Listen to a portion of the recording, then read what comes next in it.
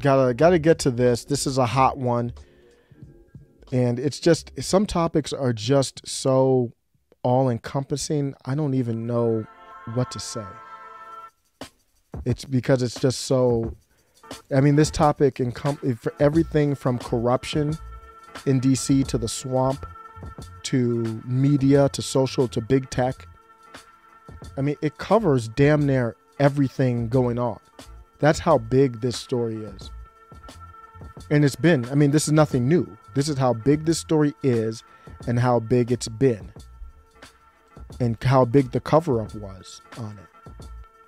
This is the Hunter Biden laptop. Hunter, you know, Biden was asked about the Hunter Biden story.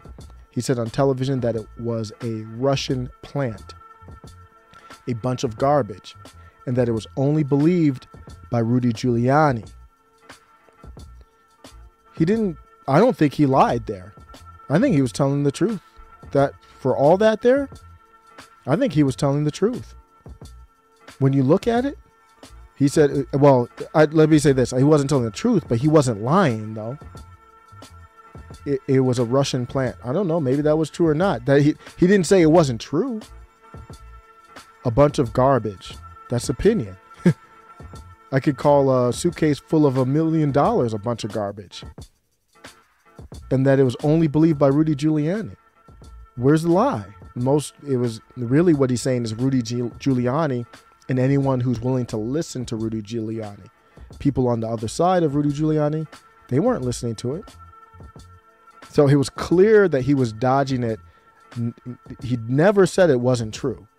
He's just using these political games. Never said it wasn't true. Think about how corrupt our media has to be to see those, and everybody sees it. You come to him and say, hey, what's with this what's with this story with hunter biden the laptop and i'm gonna show you if you don't know already why that ties in because i don't care about hunter biden that why that ties into joe biden everybody comes to him and say what's this laptop because if it's true then now we have to look at what's on it in it how it ties into you and is that true so they come to him and he says these vague terms of it's a russian plant I asked you if it was true or not. I didn't ask you if it was a Russian plant. What's up with this laptop? It's a bunch of garbage. I asked you if it was true or false. Is this really his laptop? You probably know, sir. It's, you know what? Only Rudy Giuliani believes that. You're not answering the question. And our media is so corrupt. They hid it and put it under the table for him. Leading up into, I know the Trump campaign, it's the impression I got because they knew about the laptop for a long time. They wanted to save it for an October surprise. And that actually backfired, in my opinion. And I, I don't blame them. I, I I, I, there's no foresight that I had that would have backfired. But hold it. The fact is, holding it on to October gave, or it wasn't October. I forgot when it broke, but it wasn't that much before the election. And they muted it and then was able to go to the election and move on. And then afterwards talk about it being true with a Dem House and a split Senate. Smart stuff by the cabal. That's that Time Magazine article. If you haven't read it, search Time Magazine Cabal in Twitter or Twitter is probably better than Google to search that. They said, uh, remember after that came out, they said there was like these unnamed sources, these unnamed intelligence sources that said that the laptop was disinformation. What does that mean? What's the definition of disinformation? They're saying deliberately misleading information. They didn't say it was a lie. That's that's that's for sure. I didn't hear any one of them say, "Oh, it was a flat out lie. It's not his laptop." It was the biggest story probably ever. Maybe I'm forgetting something, but it's one of the biggest ever election stories that's ever happened. And it got it got slept under the rug. Why did Twitter ban this story? Who who made the decisions to ban that story? Affecting the outcome of an election. You might have seen polling that some people said if we if I had known, maybe I would have gone the other way. The polling that I want to see is well, now that you know it was hidden, what do you want to do about it? like what what do you want to force Congress to do? We have not done one thing to prevent that from happening again. So let's say hypothetically there's another candidate, I don't care what political party they're at, they have a laptop or any story really, and it comes out, what's to stop big tech from weighing in on it again? I'm not I'm not aware of anything that has been put in place to stop that from happening. Here's what remember after Hillary lost, here's how the Google some Google execs and employees how they were acting.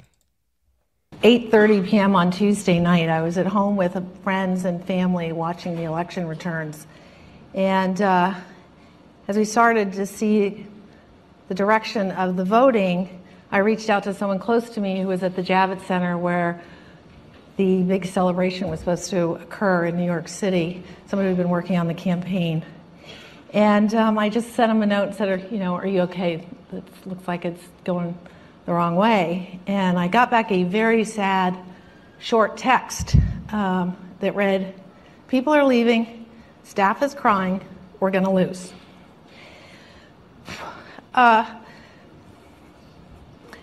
that was the. These are the people involved with the company that controls the search, the biggest search engine in the world, to search for information. This is the company that runs the platform I'm on right now. Broke down in tears.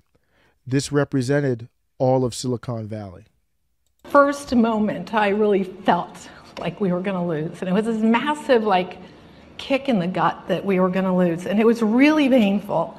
It did feel like a ton of bricks dropped on my chest. And I've had a chance to talk to a lot of fellow Googlers, and people have said different words, similar concept. This how painful is it? How painful this is. Breitbart broke that story. I'll never forget when I first saw that story. That's I was still blue pilled, but it, I still remember it.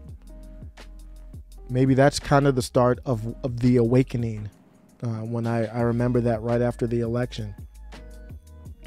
I'm going to end with this. It's okay to be sad if you wanted Hillary to win and she didn't win what's not okay and, and what's not acceptable is doing these acts that are I can't say anything else but other than malicious in order to sway the results in future um, situations. It's unacceptable, but if they have the power to do it, they do it. If most citizens aren't aware, they do it. If most citizens don't care enough, they do it. I just don't know how they sleep go to sleep at night. Let me know what you think. That's the Hunter Hunter Biden story. Hunter Biden is connected to President Biden eh, with this laptop. So it's not just a Hunter thing. So there's all kinds of stuff on it. I some stuff I don't know if I could even talk about on air here on the internet but the connections are to the pay to play scandal by somebody who was labeled as the big guy. I just don't know if anybody cares, mainstream media, any integrity, if you have integrity, to find out what that means. If it means nothing, it means nothing. But that's the connection. Who's the big guy?